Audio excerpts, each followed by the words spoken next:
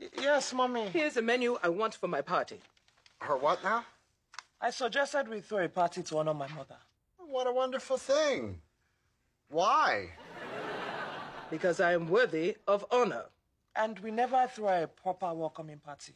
Maybe because we didn't know she was gonna stay. All my friends from the church should be there. Of course. And you may invite some people from the hospital. I'm sure Kemi will come. The lunch lady? Ugh. I want important people. Okay. Bob, is there anyone you would like to invite? I'm actually not sure that I can make it. You are coming. Okay. I very much enjoy your mother. I will leave it to you if you want to invite your siblings. Thank you. Thanks for stopping by. Oh, honey, I got a bad feeling about this. Yes. It's going to be very awful. but my mother is having a difficult time and I want to cheer her up. We will have to deep clean this filthy house. How about I give you a thousand bucks and you cheer her up in Atlantic City?